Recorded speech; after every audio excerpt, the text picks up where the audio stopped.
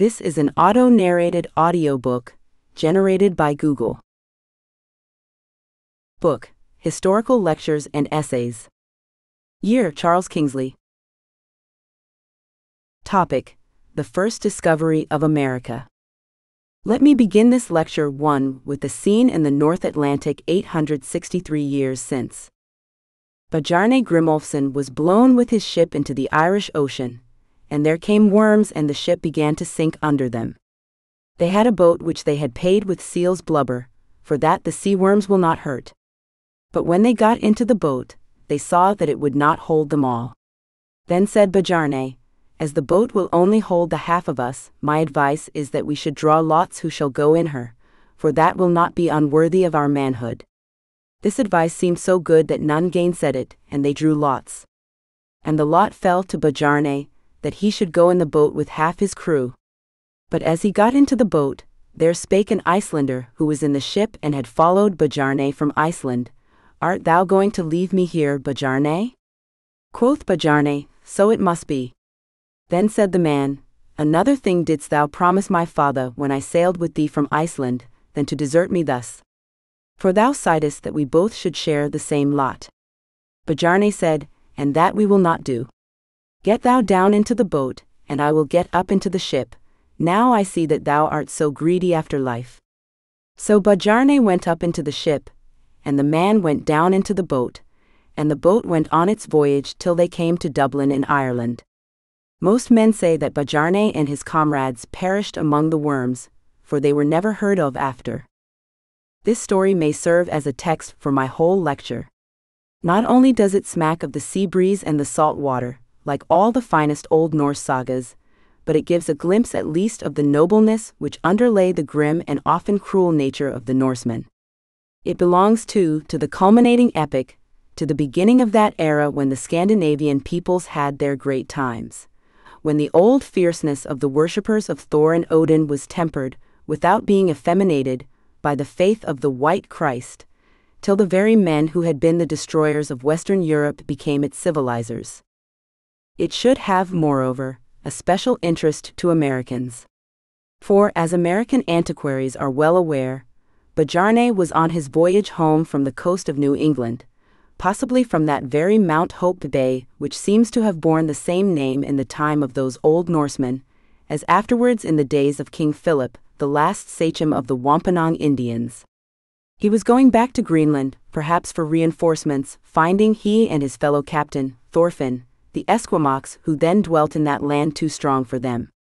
For the Norsemen were then on the very edge of discovery, which might have changed the history not only of this continent but of Europe likewise. They had found and colonized Iceland and Greenland. They had found Labrador and called it Helluland from its ice polished rocks. They had found Nova Scotia seemingly and called it Markland from its woods. They had found New England and called it Vinland the Good. A fair land they found it, well wooded with good pasturage, so that they had already imported cows and a bull whose lowings terrified the Esquimaux. They had found self sown corn too, probably maize. The streams were full of salmon. But they had called the land Vinland by reason of its grapes. Quaint enough, and bearing in its very quaintness the stamp of truth, is the story of the first finding of the wild fox grapes. How Leif the Fortunate, almost as soon as he first landed, missed a little wizened old German servant of his father's Tyrker by name, and was much vexed thereat, for he had been brought up on the old man's knee, and hurrying off to find him, met Tyrker coming back twisting his eyes about, a trick of his, smacking his lips and talking German to himself in high excitement. And when they get him to talk Norse again, he says, I have not been far, but I have news for you. I have found vines and grapes. Is that true, foster father? says Leif. True it is, says the old German, for I was brought up where there was never any lack of them. The saga, as given by Rafn, had a detailed description of this quaint personage's appearance, and it would not he amiss if American wine growers should employ an American sculptor, and there are great American sculptors, to render that description into marble, and set up little Tyrker in some public place as the Silenus of the New World. Thus the first cargoes homeward from Vinland to Greenland had been of timber and of raisins and of vine stocks which were not like to thrive. And more. Beyond Vinland the Good there was said to be another land, Whiteman's Land, or Ireland the Mickle as some called it. For these Norse traders from Limerick had found Ari Marson, and Ketla of Reykjanes, supposed to have been long since drowned at sea, and said that the people had made him and Ketla chiefs and baptized Ari. What is all this? And what is this, too, which the Esquimaux children taken in Markland told the Northmen, of a land beyond them where the folk wore white clothes and carried flags on poles? Are these all dreams, or was some part of that great civilization, the relics whereof your antiquarians find in so many parts of the United States, still in existence some 900 years ago, and were these old Norse cousins of ours upon the very edge of it? Be that as it may, how nearly did these fierce Vikings, some of whom seemed to have sailed far south along the shore, become aware that just beyond them lay a land of fruits and spices, gold and gems? The adverse current of the Gulf Stream, it may be, would have long prevented their getting past the Bahamas into the Gulf of Mexico. But sooner or later, some storm must have carried a Greenland Viking to San Domingo or to Cuba. And then, as has been well said, some Scandinavian dynasty might have sat upon the throne of Mexico. These stories are well known to antiquarians. They may be found, almost all of them, in Professor Rafn's Antiquitates Americanae. The action in them stands out often so clear and dramatic that the internal evidence of historic truth is irresistible. Thorvald, who, when he saw what seems to be, they say, the bluff head of Alderton at the southeast end of Boston Bay, said, Here should I like to dwell, and shot by an Esquimaux arrow, bade bury him on that place with a cross at his head and a cross at his feet, and call the place Crossness for evermore.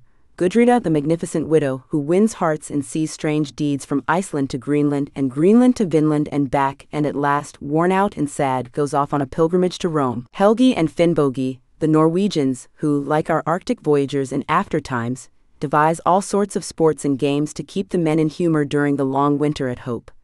And last, but not least, the terrible Freydisa, who, when the Norse are seized with a sudden panic at the Esquimaux and flee from them, as they had three weeks before fled from Thorfinn's bellowing bull, turns when so weak that she cannot escape, single handed on the savages and catching up a slain man. S sword, puts them all to flight with her fierce visage and fierce cries. Freydisa the Terrible, who in another voyage persuades her husband to fall on Helgi and Finnbogi when asleep and murder them and all their men, and then when he will not murder the five women too, takes up an axe and slays them all herself and getting back to Greenland when the dark and unexplained tale comes out lives unpunished but abhorred henceforth. All these folks, I say, are no phantoms, but realities, at least if I can judge of internal evidence. But beyond them and hovering on the verge of mythos and fairyland, there is a ballad called Finn the Fair, and How. An upland earl had Twa Bra sons, my story to begin. The Tane was Light Haldane the Strong, the Tither was Winsome Finn and so forth, which was still sung with other rimmer or ballads in the Faroes at the end of the last century. Professor Rafn has inserted it, because it talks of Vinland as a well known place, and because the brothers are sent by the princess to slay American kings, but that rhyme has another value.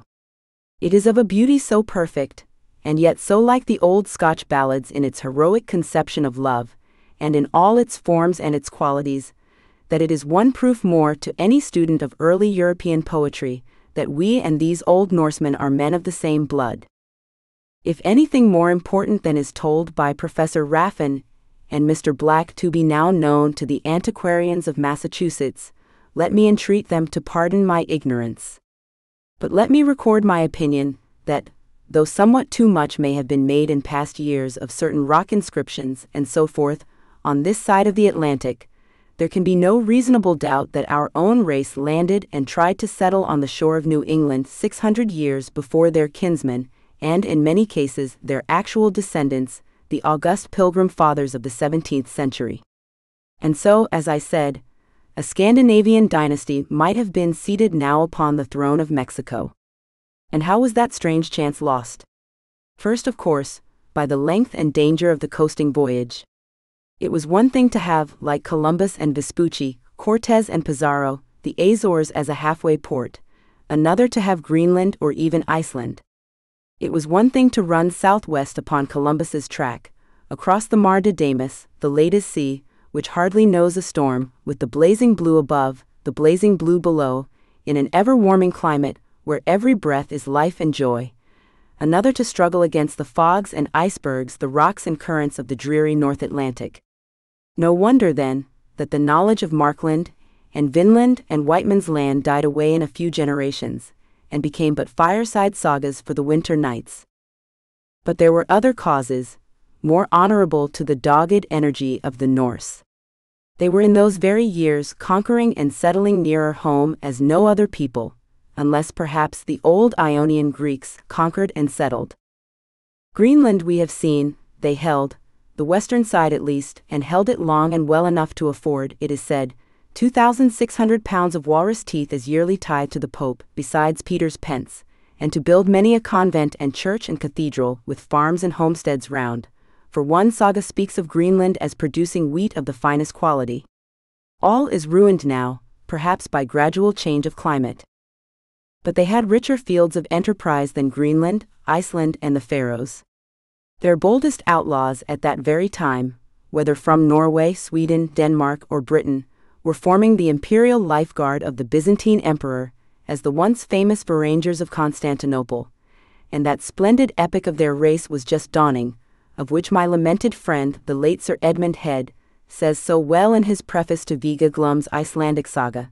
The sagas of which this tale is one were composed for the men who have left their mark in every corner of Europe, and whose language and laws are at this moment important elements in the speech and institutions of England, America, and Australia.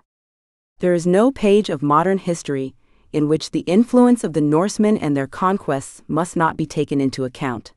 Russia, Constantinople, Greece, Palestine, Sicily, the coasts of Africa, southern Italy, France, the Spanish Peninsula, England, Scotland, Ireland, and every rock and island round them have been visited, and most of them at one time or the other ruled by the men of Scandinavia.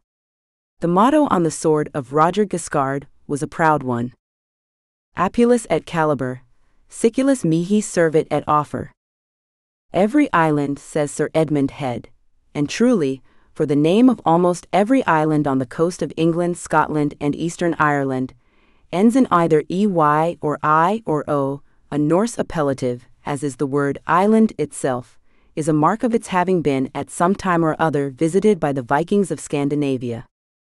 Norway, meanwhile, was convulsed by war, and what perhaps was of more immediate consequence, Sven Forkbeard, whom we Englishmen call Sweyn, the renegade from that Christian faith which had been forced on him by his German conqueror, the Emperor Otto II, with his illustrious son Canute, whom we call Canute, were just calling together all the most daring spirits of the Baltic coasts for the subjugation of England, and when that great feat was performed, the Scandinavian emigration was paralyzed probably for a time by the fearful wars at home. While the King of Sweden and St. Olaf Tryggvason, King of Norway, were setting on Denmark during Canute's pilgrimage to Rome, and Canute, sailing with a mighty fleet to Norway, was driving St. Olaf into Russia to return and fall in the fratricidal Battle of Stiklestad, during, strangely enough, a total eclipse of the sun, Vinland was like enough to remain still uncolonized. After Canute's short lived triumph, king as he was of Denmark, Norway, England, and half Scotland, and what not of Wendish folk inside the Baltic, the force of the Norsemen seems to have been exhausted in their native lands. Once more only, if I remember right, did Lochlin, really and hopefully send forth her mailed swarm to conquer a foreign land, and with a result unexpected alike by them and by their enemies.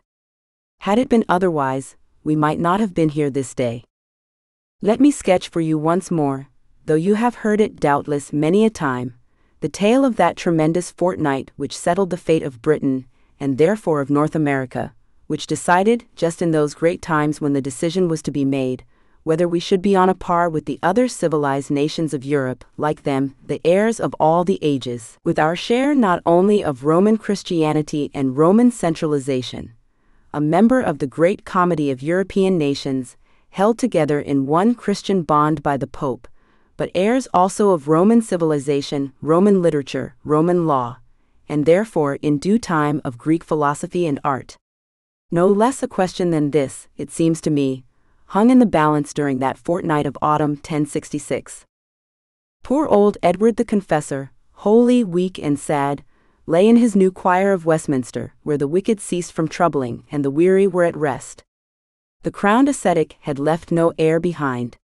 England seemed as a corpse, to which all the eagles might gather together, and the South English, in their utter need, had chosen for their king the ablest and it may be the justest man in Britain, Earl Harold Godwinson, himself like half the upper classes of England then of the all-dominant Norse blood, for his mother was a Danish princess.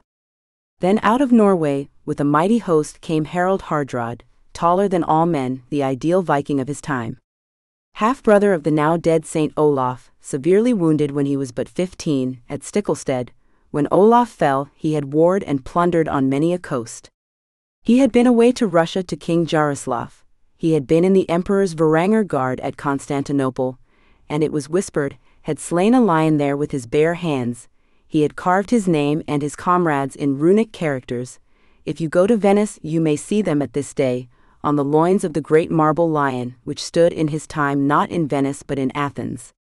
And now, King of Norway and conqueror for the time, of Denmark, why should he not take England as Sweyn and Canute took it sixty years before, when the flower of the English gentry perished at the fatal battle of Assingdoun? If he and his half-barbarous host had conquered, the civilization of Britain would have been thrown back, perhaps, for centuries. But it was not to be. England was to be conquered by the Norman, but by the civilized, not the barbaric, by the Norse who had settled, but four generations before, in the northeast of France, under Rue Rollo Rolf the Ganger, so called they say because his legs were so long that when on horseback he touched the ground and seemed to gang or walk. He and his Norsemen had taken their share of France, and called it Normandy to this day, and meanwhile with that docility and adaptability which marks so often truly great spirits, they had changed their creed, their language, their habits, and had become from heathen and murderous berserkers the most truly civilized people of Europe and, as was most natural then, the most faithful allies and servants of the Pope of Rome. So greatly had they changed, and so fast, that William Duke of Normandy, the great-great-grandson of Rolf the Wild Viking, was perhaps the finest gentleman, as well as the most cultivated sovereign, and the greatest statesman and warrior in all Europe. So Harold of Norway came with all his Vikings to Stamford Bridge by York, and took by coming only that which Harold of England promised him, namely, for as much as he was taller than any other man seven feet of English ground. The story of that great battle, told with a few inaccuracies, but told as only great poets tell, you should read if you have not read it already, in the Heimskringla of Snorri Sturluson, the Homer of the North. High feast that day held the birds of the air and the beasts of the field, white-tailed erne and sallow gleed, dusky raven with horny neb and the grey deer the wolf of the wood. The bones of the slain, men say, whiten the place for fifty years to come. And remember that on the same day on which that fight befell, September 27, 1066, William, Duke of Normandy, with all his French-speaking Norsemen, was sailing across the British Channel under the protection of a banner consecrated by the Pope, to conquer that England which the Norse-speaking Normans could not conquer and now King Harold showed himself a man. He turned at once from the north of England to the south. He raised the folk of the southern, as he had raised those of the central and northern shires, and in sixteen days, after a march which in those times was a prodigious feat, he was entrenched upon the fatal down which men called Hethfield then and Senlac, but battled to this day, with William and his French Normans opposite him on Telham Hill. Then came the Battle of Hastings. You all know what befell upon that day, and how the old weapon was matched against the new, the English axe against the Norman lance, and beaten only because the English broke their ranks. If you wish to refresh your memories, read the tale once more in Mr. Freeman's History of England, or Professor Creasy's 15 Decisive Battles of the World, or even best of all, the late Lord Lytton's splendid romance of Harold. And when you go to England, go, as some of you may have gone already, to battle and there from off the abbey grounds, or from Mountjoy behind, looked down off what was then the heathy field, over the long slopes of green pasture and the rich hop gardens where were no hop gardens then, and the flat tide marshes winding between the wooded heights, towards the southern sea, and imagine for yourselves the feelings of an Englishman as he contemplates that broad green sloping lawn on which was decided the destiny of his native land.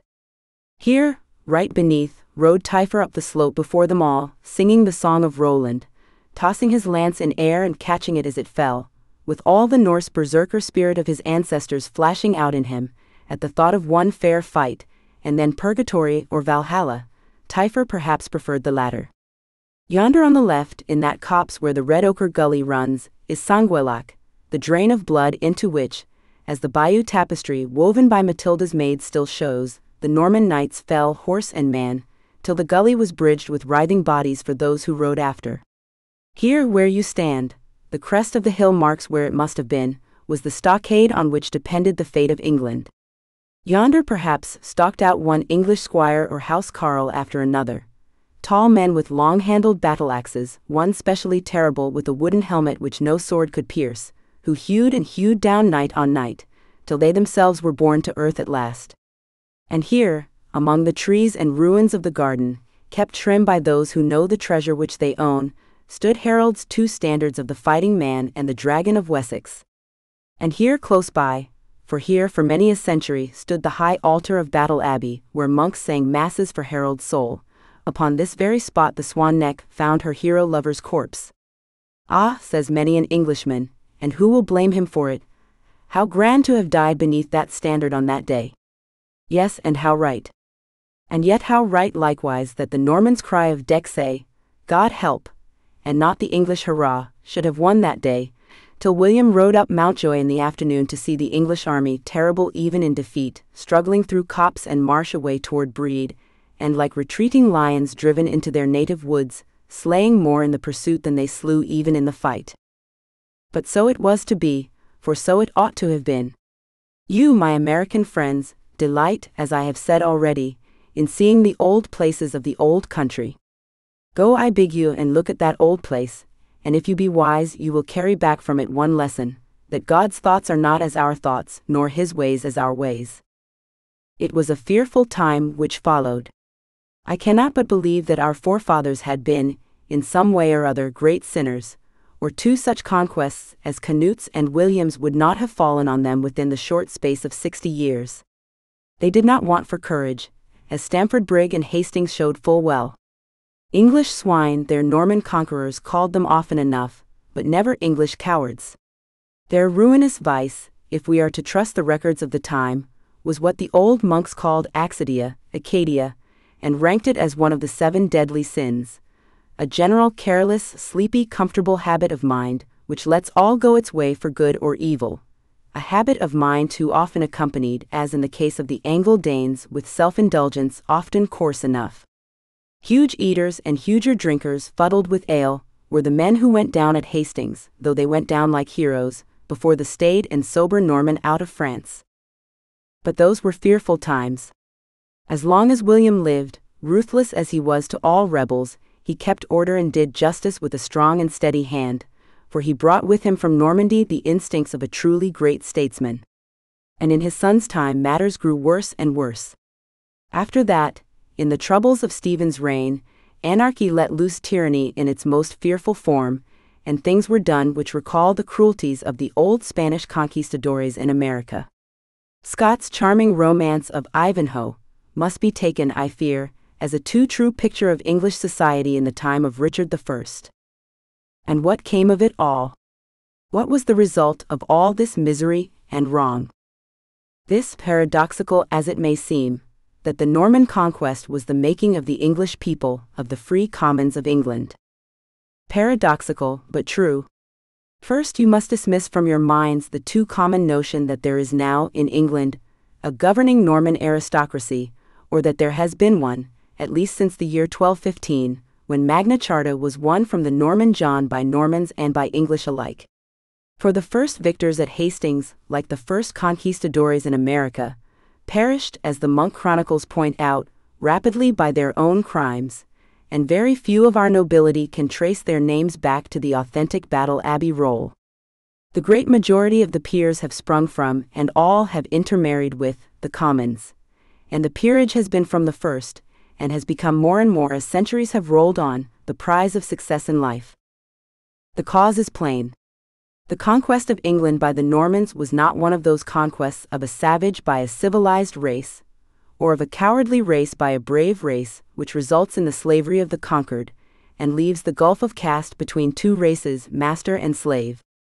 That was the case in France, and resulted after centuries of oppression, in the great and dreadful Revolution of 1793, which convulsed not only France but the whole civilized world. But caste, thank God, has never existed in England, since at least the first generation after the Norman conquest. The vast majority, all but the whole population of England, have been always free, and free, as they are not where caste exists to change their occupations. They could intermarry if they were able men into the ranks above them, as they could sink if they were unable men into the ranks below them. Any man acquainted with the origin of our English surnames may verify this fact for himself by looking at the names of a single parish or a single street of shops. There, jumbled together, he will find names marking the noblest Saxon or Angle blood, Kenward or Kenrick, Osgood or Osborne, side by side with Cordery or Bannister, now names of farmers in my own parish, or other Norman French names which may be, like those two last, in Battle Abbey roll, and side by side the almost ubiquitous Brown, whose ancestor was probably some Danish or Norwegian house carl proud of his name Bjorn the Bear, and the ubiquitous Smith or Smythe, the smiter, whose forefather, whether he be now peasant or peer, assuredly handled the tongs and hammer at his own forge. This holds true equally in New England and in Old. When I search through, we hope you enjoyed this preview. To continue listening to this audiobook on Google Play Books, use the link in the video description.